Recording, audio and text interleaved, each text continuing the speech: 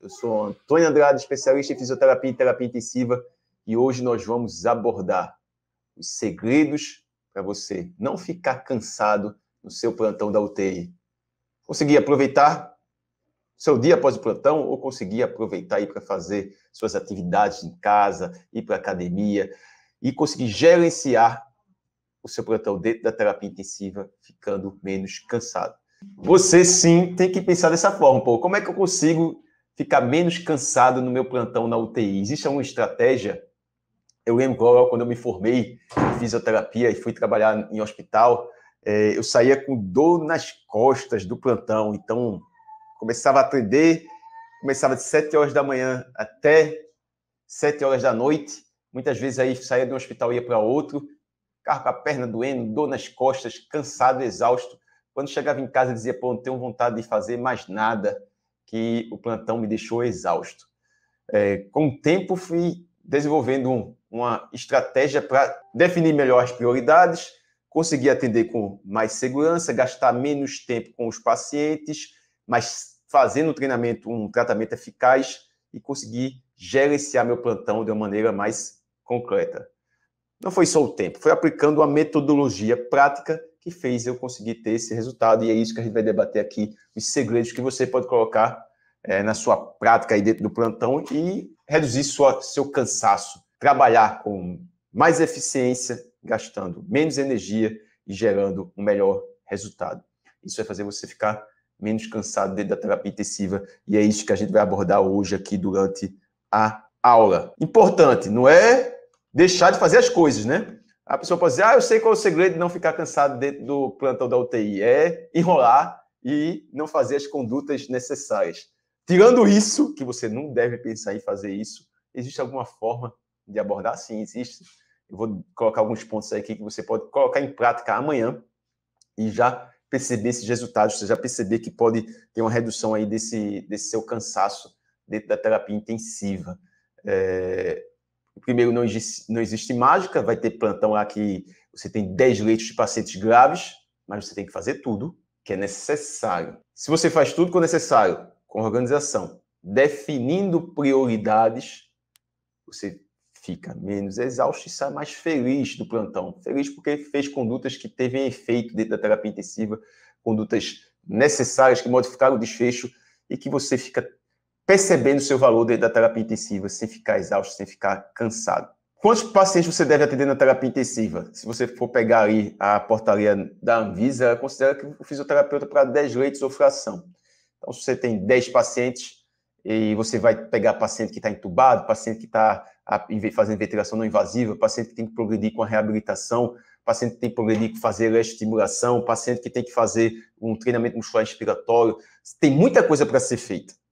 Muita coisa. E por ter muita coisa para ser feita, algumas vezes a pessoa se perde no plantão. Aí fica indo e voltando. Aí fica gastando energia desnecessária. Aí vai o paciente do leito 7 não tem efeito o tratamento, aí vai lá no paciente do leito 6 fazer uma conduta, aí vai lá no paciente do leito 4 e volta para o paciente do leito 6, aí depois volta do paciente do leito 7, aí chega lá na visita muito profissional, está totalmente perdido, sem ter todos os dados que é necessário para discutir, é, faz condutas desnecessárias que não tem ou que não tem efeito, então fica fazendo, faz uma conduta, depois outra conduta, depois outra conduta com o paciente, como fosse tentativa e erro, né? Faz uma conduta para ver se dá certo, sem saber o porquê está fazendo se vai ter efeito ou não aquela conduta com o paciente. Qual o principal segredo para você ficar menos cansado no seu plantão da UTI?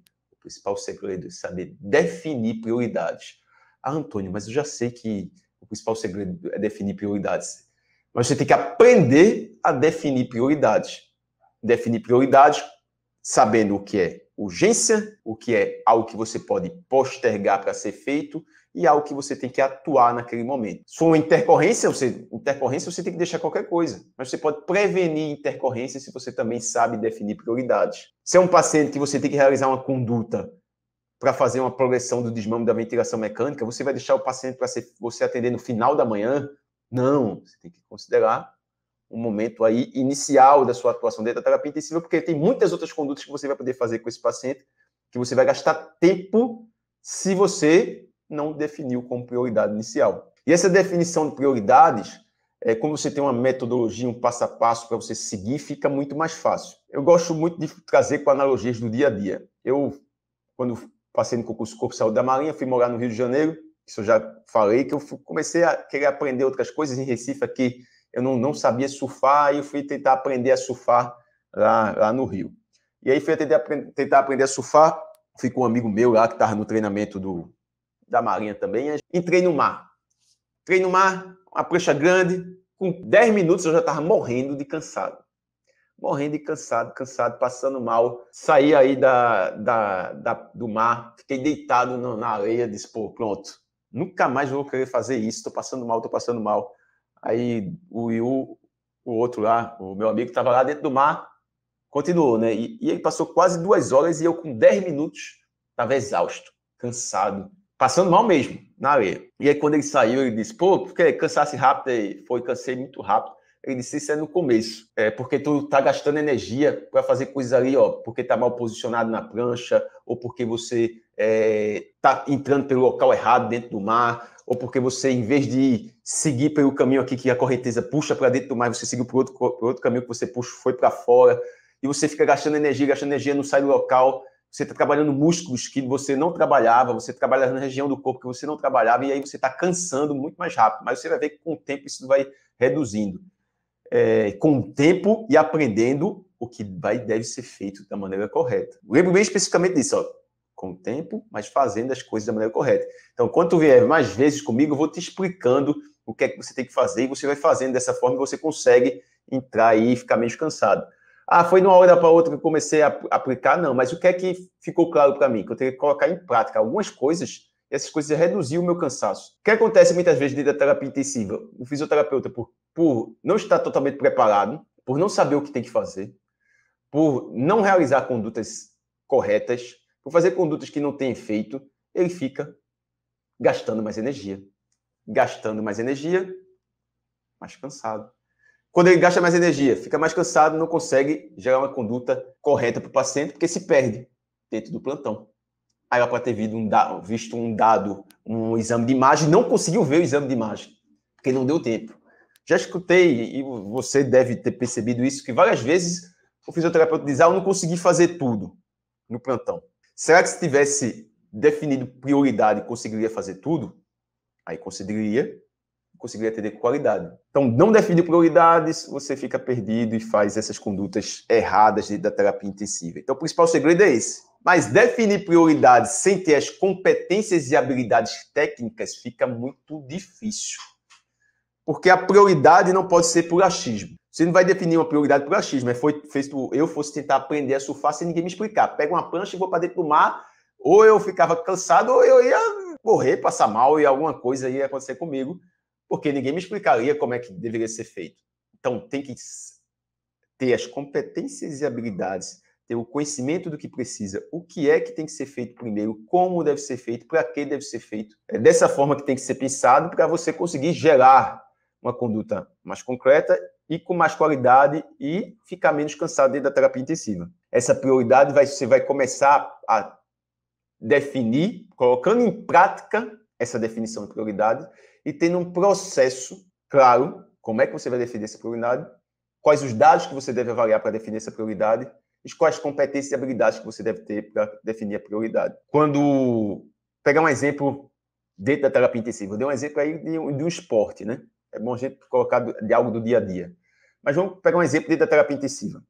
Você entrar na UTI. E a UTI chegou no plantão, 7 horas da manhã, com sono. Né? O plantão vai começar de 7 da manhã ou 7 da noite você for dialista, vai estar ali manhã ou tarde. Tá sete da manhã ou sete da noite. Chegou com sono, de manhã. Aí chega na, na, na, na UTI, quando recebe o plantão, já entra dentro da terapia intensiva, aí tem o paciente do leito 1, tá se estubando. Vai ter que ser reentubado, vai lá, tá, gastou aí uns 30 minutos. Saiu do paciente, aí você escutou na passagem de plantão que o paciente do leito 4 estava com queda da oxigenação. Aí você vai lá para o paciente do leito 4, aí entra no leito do paciente, aumenta a FO2, aspira o paciente, aumenta a delta de pressão, aumenta a PIP, calcula a mecânica, aí sai do paciente para do leito 4. Aí saiu do paciente do leito 4, ah, intercorrência de novo lá no leito 1, que o paciente se estubou de novo. Aí você chega lá no paciente do leito 1, mais uns 30 minutos no paciente. Saiu do paciente, do leito 1, pô, o leito 4 que você tinha acabado de atender, tá com queda de oxigenação de novo. Aí volta para o paciente do leito 4. Aí passa lá mais uns 30, 40 minutos do leito 4, titula, PIP, aumenta parâmetro, vai lá. Só nesse tempinho que eu falei aí para vocês, você gastou 3 horas. 2, 2 horas e meia, 3 horas. Chegou 7 horas, 7, 8, 9 e meia, 10 horas aí, você está atendendo dois pacientes e tem mais 8 pacientes para atender. Aí quando chega perto aí de 10 horas, pô, tem um paciente lá que está agitando no leito, precisa ser sedado ou tem algo que deve ser feito com ele, você vai, vai lá, conversa com o médico, aí vai lá debater o caso do paciente, gastou mais uns 20 minutos. E aí, quando chega lá no paciente, aumenta a pressão suporte, tenta fazer uma terapia desobstrutiva, não reverteu o caso, aí vai falar com o médico de novo, aumenta a sedação e não aumenta, e deu umas 10 e meia da manhã. Falta ainda sete pacientes para você ver. E aí você tem mais sete pacientes para você atender dentro da terapia intensiva. Vai ter, vai ter paciente que é para progredir o desmame, tem paciente que é para realizar é, ventilação não invasiva, tem um paciente que tinha que progredir a reabilitação, tem um paciente que deveria fazer a estimulação, tem um paciente que deveria fazer o, a progressão da, da, do treinamento muscular inspiratório. Muita coisa para ser feita. Pô, eu consigo fazer isso ainda, deu o horário da visita multiprofissional. Aí você diz, ah, eu não consigo participar da visita multiprofissional porque tem paciente que eu não consegui ter, ser atendido ainda. Aí você gastou a manhã toda e nem conseguiu ver todo mundo. Aí chega tarde, começa a ter coisa. O que é que eu estou dando, estou falando? Isso acontece diariamente dentro da terapia intensiva. E começou desde logo, logo cedo, já teve intercorrência lá e começou. Mas quando você tem um processo claro do que você deve avaliar, qual o paciente que você deve ver primeiro, o que é que você deve observar para prevenir intercorrências, para prevenir complicações na terapia intensiva, você reduz essa, essa aleatoriedade do atendimento. Essa aleatoriedade é acaba, porque você que vai dominar o plantão, você que domina o plantão. Eu digo para os meus alunos de método de fisioterapia intensiva, mesmo quando você recebe o plantão, a primeira coisa que você faz é dar uma passagem rápida dentro da UTI. Olhar cada leito, olhar e ver se tem algo que você pode atuar para prevenir.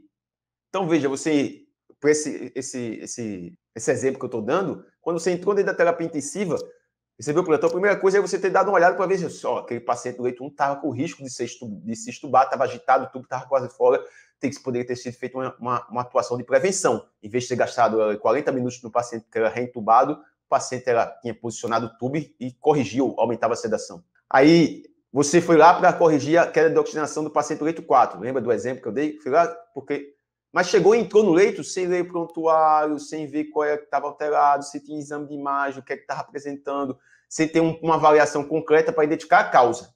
Aí foi atuar no sinal e sintoma. Melhorou rapidamente, aumentou FO2, aumentou delta de pressão, mas não melhorou a causa. Aí vai ter que voltar no paciente de novo, porque daqui a um, um certo tempo, por você não ter atuado na causa, vai acontecer de novo a queda de saturação. Aí fica gastando tempo indo e voltando. Não, e você definiu prioridades. Deu uma passada, já passagem rápida. Foi nos prontuários foi pegar os exames complementares, foi pegar os exames de imagem, chegou no, a partir daquilo dali, definiu qual é o paciente que você vai chegar primeiro, que vai gastar mais tempo. Quando você sabe o que é que vai gastar mais tempo, Pô, se eu vou fazer um desmame, um desmame vai gastar tempo e é prioritário para mim, que eu vou fazer várias condutas sequenciadas. Há um paciente que eu tenho que fazer uma, um, uma ventilação não invasiva, como uma prevenção, eu vou gastar um certo tempo com um paciente. Você tem um tempo mais ou menos que você vai gastar com esse paciente, você vai definir essas prioridades dessa forma tanto pelo que é de risco, o que é o paciente mais grave, que a fisioterapia faz efeito. Tem paciente grave que a fisioterapia não faz efeito. O paciente está lá, cuidado paliativo, entubado, é, bloque... é, sedado, com morfina, é, ventilando com troca gasosa satisfatória, mecânica boa, lá, olhou, passou rapidamente, quando você passa aquela olhada rápida dentro do plantão, viu que o paciente está ventilando satisfatório, isso daí não vai ser a definição de prioridade do momento para você, porque é um paciente grave que você não vai ter uma conduta específica com ele no momento. Eu vou passar um, um, um passo a passo mais na frente aí de como você definir essas prioridades para conseguir é, ficar menos cansado da terapia intensiva, participar das visitas multiprofissionais, aproveitar o plantão, sair feliz porque fez condutas que geraram efeito. Eu fico, pô, sai do plantão, que eu sei que as condutas da fisioterapia modificaram vários vários pacientes aí, melhoraram a função dos pacientes, melhoraram a atividade da terapia intensiva, eu fico feliz. Posso sair lá, ter atendido 10 pacientes o tempo todo, mas sair menos cansado, porque você tem, você vê sua, você vê que é valorizado, você vê que está fazendo diferença, você vê que, tá, que não está ali só para cumprir tabela. Você faz um atendimento com qualidade da terapia intensiva que faz diferença. Isso, isso é muito bom.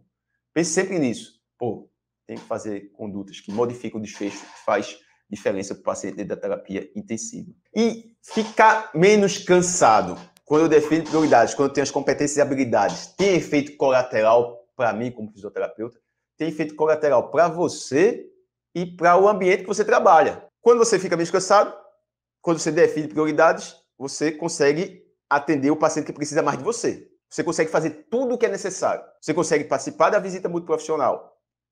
Você consegue discutir com os outros profissionais de maneira concreta, de maneira assertiva. Isso gera valorização para você. Você começa a ser visto como um profissional de referência, um profissional líder. Você começa a ser visto pelos familiares dos pacientes que vão lá, vão tirar dúvida sobre a fisioterapia. Pô, você conseguiu atender o paciente antes da visita dos familiares. Atendeu com qualidade. Você vai discutir, você vai ter tempo para se posicionar. Valorização, segurança no atendimento, atendimento com mais qualidade.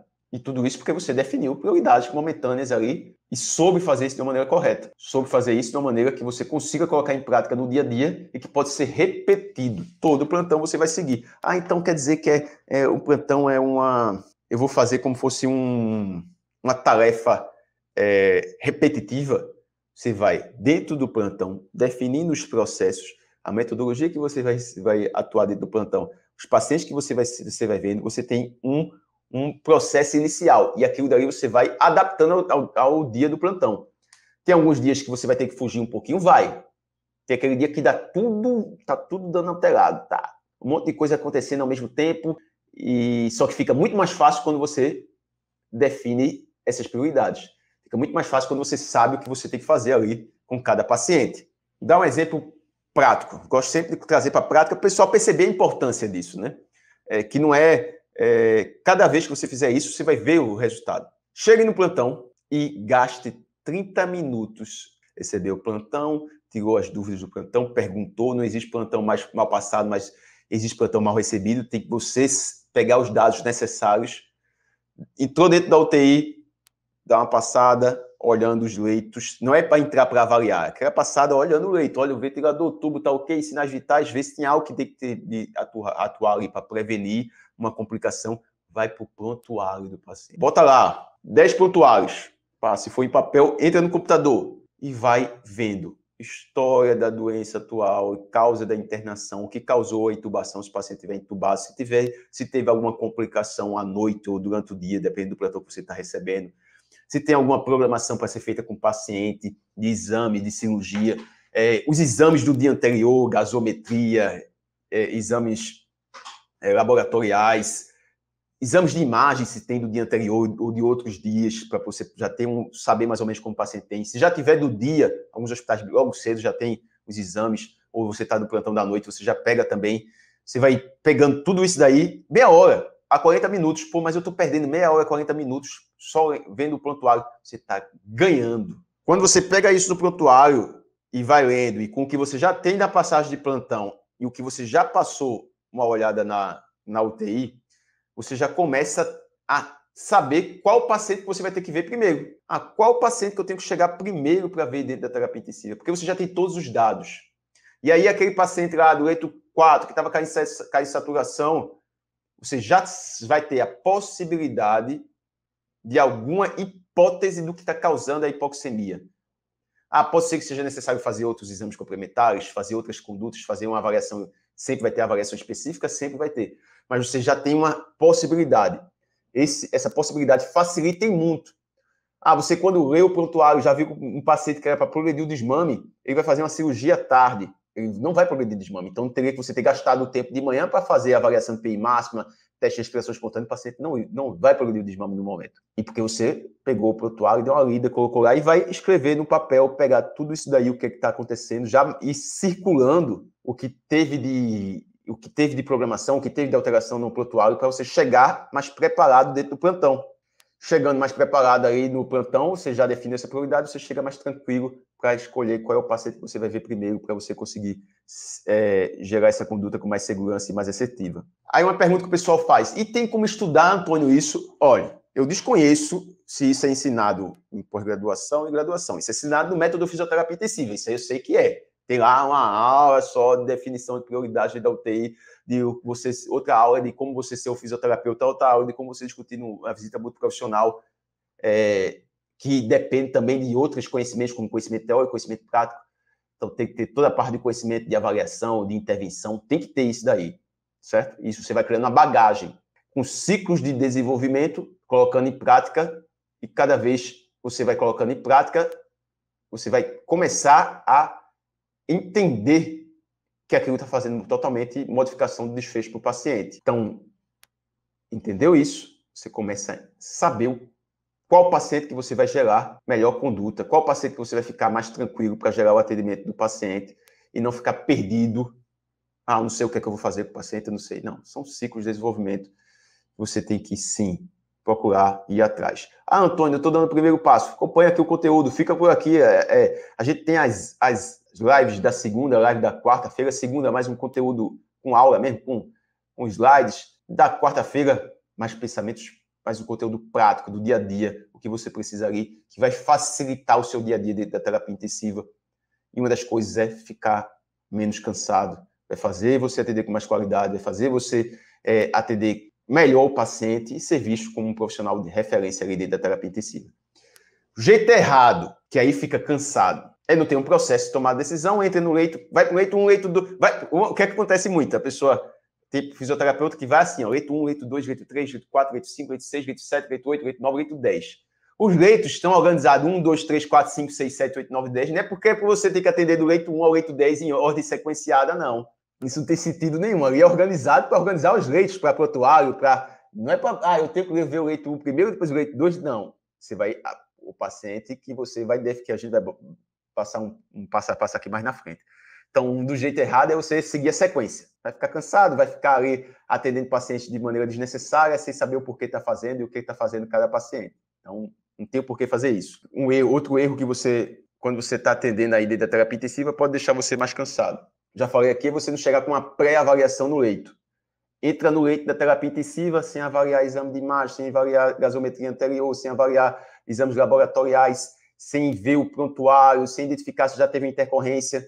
Entra totalmente vendido. Aí entra no leito, não sabe nem o que vai fazer. Aí ausculta o paciente, calcula a mecânica, aspira, ambusa, né? desconecta do ventilador, muitas vezes que nem precisa, ambusa, aspira, sai do leito, meia hora depois tem que voltar no paciente, porque o paciente está descompensando o que era para ser, fe ser feito você não fez. É, então, é um erro repetido, é um erro repetido o tempo todo acontece da terapia intensiva. O fisioterapeuta que vai assim, de forma aleatória, entra no leito de forma aleatória, sem saber o porquê que está entrando, vai lá, sem saber dados, é, nem sabe o que, é que causou a internação do paciente na terapia intensiva, nem sabe o que causou a, a intubação do paciente da, que levou para a ventilação mecânica.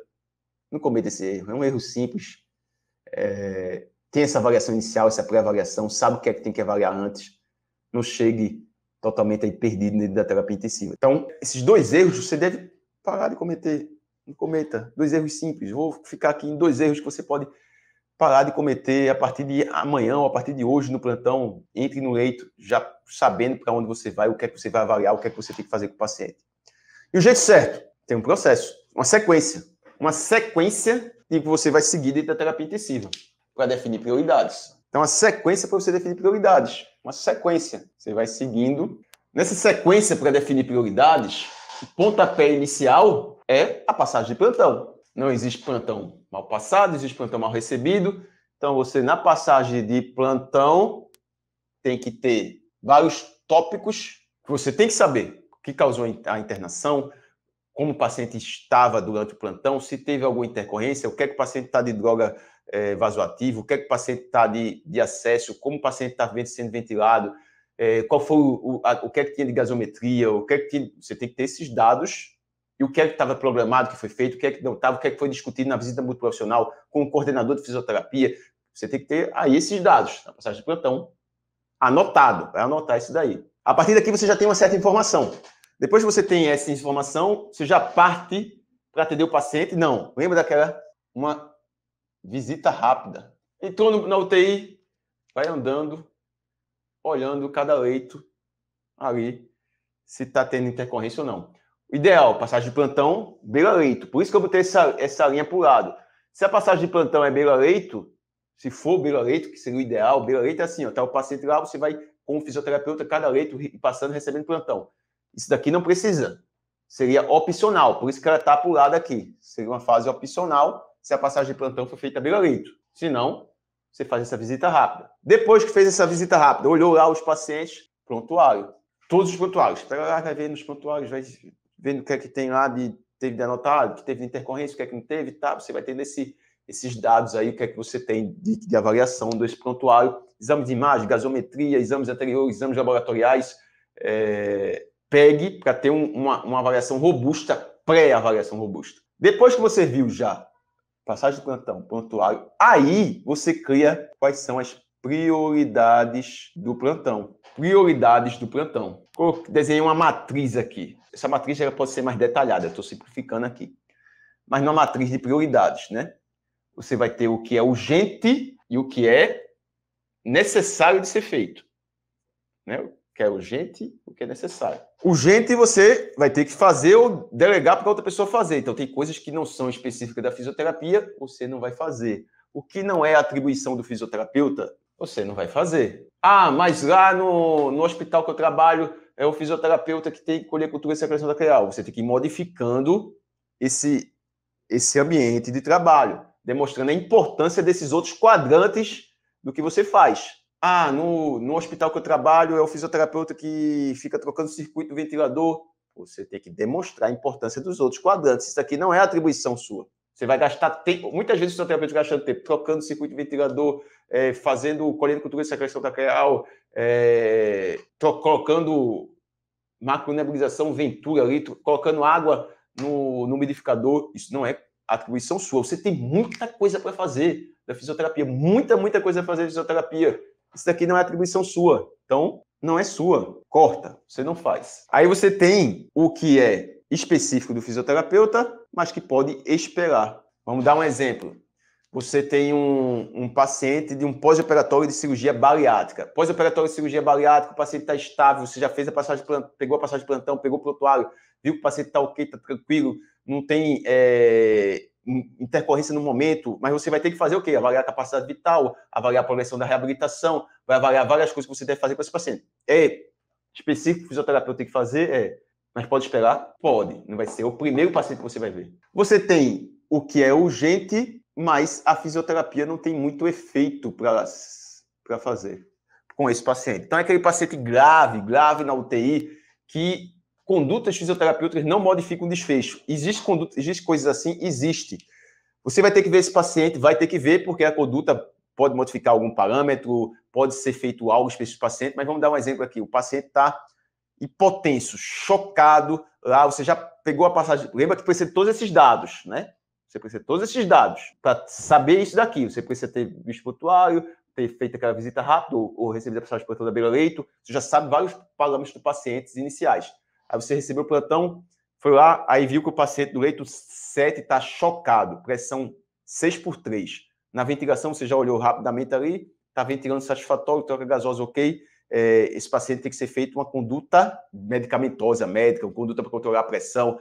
Você não vai logo nesse paciente. Você não vai ter, você vai gastar tempo porque não vai, você vai ter conduta específica para ser feito para esse paciente. Então, não, você não vai logo dele. E aí você chega o paciente que seria urgente e específico para o fisioterapeuta realizar a conduta. Esse daqui é o que é sua prioridade de atendimento inicial do plantão. Exemplos: um paciente de desmame da ventilação mecânica, um paciente deve fazer uma ventilação não invasiva é, para reverter uma telectasia, um paciente que você vai é, realizar um treinamento da musculatura respiratória, um paciente que você vai que precisa titular uma PIP, um paciente que está com queda com hipoxemia grave, um paciente que está com uma sincronia, que está descompensando. Esse paciente é o que você vai primeiro. Quando você vai no paciente, que você definiu a prioridade, aí você segue uma sequência de avaliação específica, né? Inspeção, palpação, ausculta, exames complementares. Você vai seguir. Aí é outro processo.